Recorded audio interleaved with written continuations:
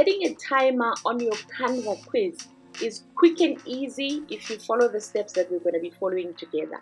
You've seen these channels on YouTube where they have quizzes and the channel is booming and they're never on screen. So you could have one of those channels. But I've got a question from Doctrain to say, how do we add a timer on our Canva quizzes? Let's jump right in. I have been creating quizzes using Canva and other softwares that I'm going to share a name to if you stick with me until the end of this video.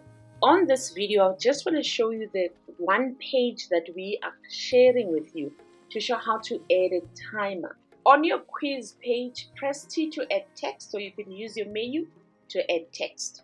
And have a title of your quiz. And then what I did, I went to my elements and I looked for timer. So I typed timer countdown you could look for a 10 minute or a 5 minute, it's up to you. But what I did, I went to videos and I found a video that's counting from 10, 9, 8, 7, 6, 5, like this one. You could just click on it once and then zoom on it and make it a small size so that it is on there and it starts counting and it has like 10 seconds. This one is a 10 seconds one. The trick now is make sure that your slide is also 10 seconds so that when the timer is finished, your slide is also finished and then you can add your flow or you could add your transition to the next page so that it looks this way. Let's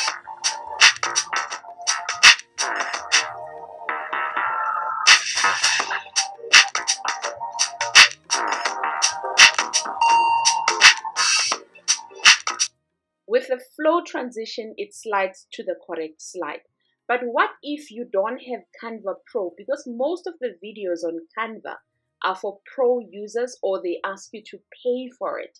There is a workaround that you could use. You can use websites like Pixabay or Mixkit.co where you can get royalty free videos and you can download yourself a timer on those videos and then upload it to Canva.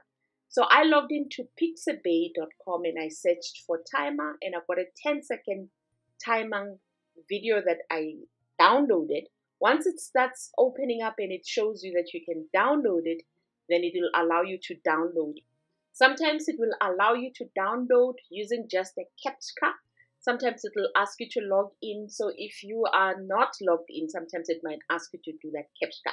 You download it, it sits on your download and it's as good as that. Then you log back in on Canva and then upload the video on your uploads. Once it's uploaded, you just add it to your quiz page and you use the method that we've done earlier on to make sure that you've added your transition and your music and your sound. And that's as easy as that. And that's how you add your timer. Free on Canva.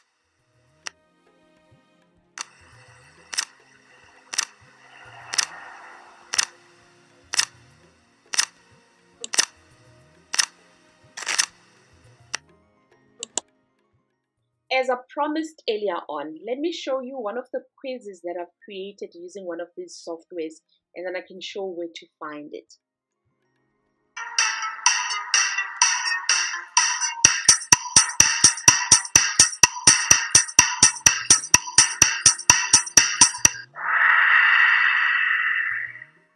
And this is how the quiz looks like. One of these quizzes is available on one of my channel called Quizzical Brains you can go have a look at it. But where to find the software? name is kahoot.com and I'll link it on the description below so you can go play around with it. They do have free as well as paid, but go explore and see if this is something that could work for you.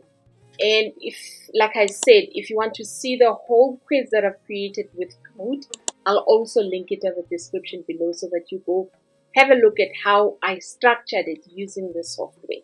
Let me know any questions that you might have that we can answer on Canva, Photopea, or Flip a Clip, or these days I also do Procreate. Thank you so much for joining me. Please go buy a course of mine at learnwithzar.com to help support this channel and help support my dream. I appreciate you so much. Thank you. I will see you on the next video.